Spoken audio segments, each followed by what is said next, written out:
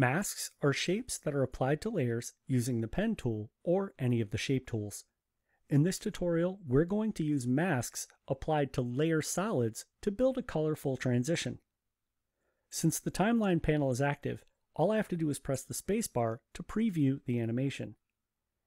And you can see right around 3 seconds, I have a hard wipe transition revealing a logo.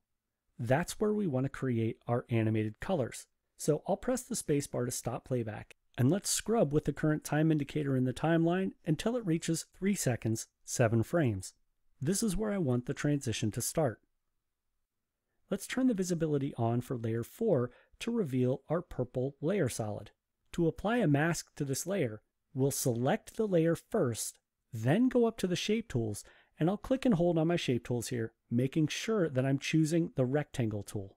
Now I can drag in the composition panel to apply the mask. But before I do that, I'll position my cursor off the upper right edge of my composition, and then I'll press the comma key to zoom out because I want to make sure the mask covers all edges of this layer. So starting in the upper right area here, I'll click and drag down to the left. And notice as I drag over the composition panel, I'm revealing that purple solid. Since we want the animation to start off the right side of the composition, let's make sure and draw our path off the right side of the composition until it looks something like this.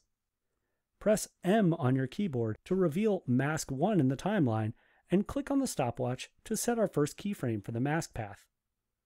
I want this animation to be kind of fast, so I'll go to the time and click and type plus 10 to only move 10 frames down the timeline.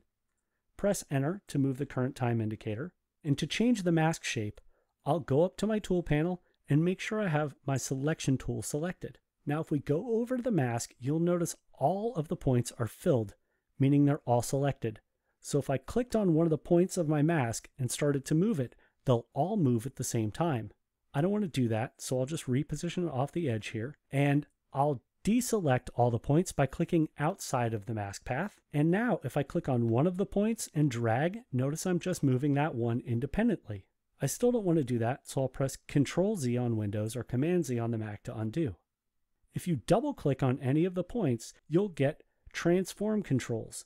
So make sure to double click on one of the points and you'll know you have transform controls when you see these handles in the middle of the masks.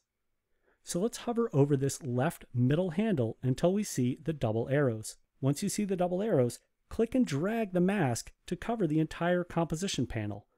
Make sure it goes way off the left edge of the composition. Now let's move 10 frames down the timeline, so click on the time and type plus 10 and press enter to move the current time indicator. We can go back up to the mask path and just double click on any of the points. Since we have our transform controls applied here, now I'll hover over the right middle handle here and click and drag off the left side of the composition. Once I've got it set up, I can press enter to set that last transformation. To preview our animation, I'll move the current time indicator back to the beginning of the timeline and press the spacebar.